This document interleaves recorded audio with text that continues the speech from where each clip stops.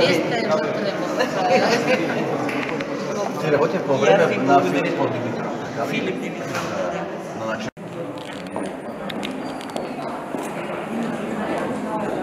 A, podržavamo jednu drugu, a, podržavamo se uzajamno za ulazak u šengenski prostor. A, Što se tiče uvođenja eura, to je stvar zemlje članice, ali ćemo se tu isto podržavati.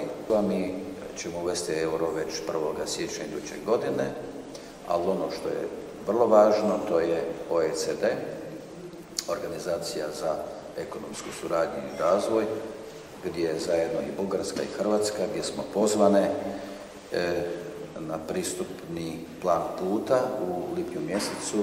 Ove godine ćemo u Parizu dobiti taj pristupni plan i mislim da ćemo zajedno se tu podupirati kako bismo ostvarili članstvo u toj važnoj prestižnoj organizaciji koja, se, koja promiče ekonomsku i socijalnu politiku u jednom prestižnom društvu od a, 38 zemalja članica.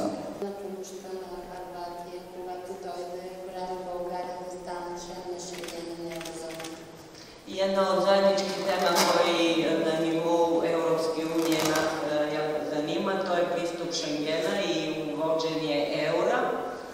Naravno, Hrvatska je u tom smislu ispred e, Bugarske, ali mi se nadamo kad dođe taj trenutak da možemo računati na pomoć naših prijatelja, da možemo i mi po svih ovih zahtjeva koji već je Hrvatska ispunila, няма проблем, има гаранции, че ГАРО ще продължава да тече по тръбата, т.е. към Сърбия и към Харватия.